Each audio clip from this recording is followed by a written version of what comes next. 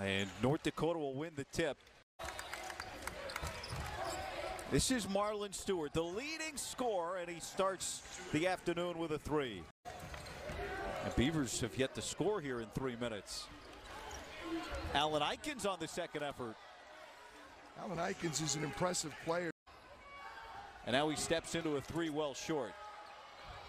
And missed well enough that Danielson was able to pick it up and score it. In the audience today. I know there was some discussion uh, on the floor about pregame tickets. Tinkle backs that in. Well, he is great at home. This is Marlon Stewart creating an open look for Brady Danielson. Oh, hello. Thank you. Freshman. And here comes North Dakota. Oh, wow. Deshaun Allen Aikens. That up top for Kelley from Jarod Lucas.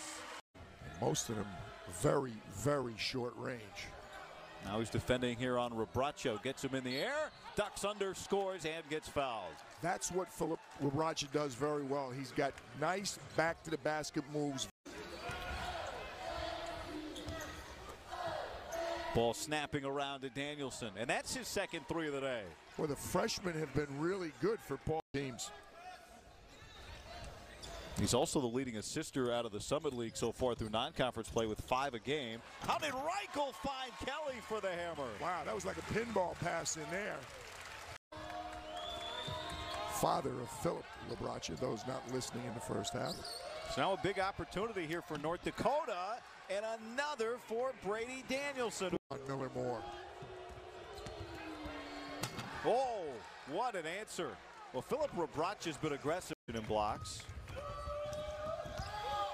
And this time without Kelley inside, Stewart's able to get to the rack. Well, he went past him right where the dotted line used to be. Right there. Snuck from behind and knocked it loose. Kelley up top again. And soon they'll hop on a plane after the New Year's celebration. They'll find themselves in Salt Lake City at Utah to start league play. Wayne Tinkle's team 7 0 here at home, and it's the best 12 game start